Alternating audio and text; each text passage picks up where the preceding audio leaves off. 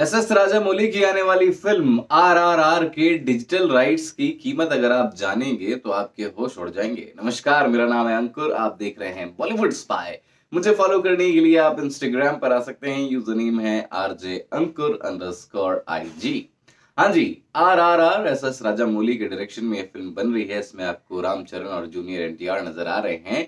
जो कि freedom fighters Alluri, Sitarama Raju और कोमाराम भीम के किरदार में आपको नज़र आने वाले हैं। और ये फ़िल्म जो है, कहा जा रहा है कि हिंदुस्तान की सबसे महँगी बनने वाली फ़िल्मों में से एक है। यानी कि इस पर बहुत काम किया जा रहा है। हमने देखा है कि एक के बाद एक फ़र्स्ट लुक सामने आ रहे हैं और बहुत मेहनत की जा रही है इस फ़िल्म को लेकर।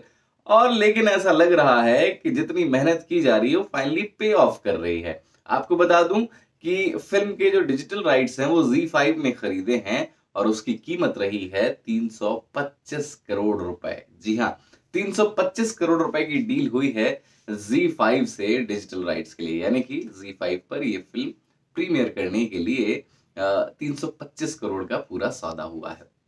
आपको बता दूँ कि अगर फ़िल्म के हम बाकी राइट्स की भी बात करें, सब कुछ मिला जुला कर बात करें theatrical rights digital rights satellite rights music rights ये सारे राइट्स का जो पूरा अभी तक फ़ीस रही है, पूरा पूरा खर्चा रहा है, जो डील क्लोज हुई है, वो रहा है 800 से 850 करोड़। जी हाँ यानी कि फ़िल्म के रिलीज़ से पहले ही प्रोड्यूसर साहब ने 800 साढ़े आठ करोड़ रुपए कमा लिए हैं इस फ़िल्म से। अब अगर खर्चा वर्चा सब काट के देखा जाए तो प्रॉफिट भी तकरीबन 400 करोड़ का प्रोड्यूसर साहब को हो चुका है। यानी कि ये फ़िल्म रिलीज़ से पहले ही काफ़ी बढ़िया कमाई करके दे चुकी है।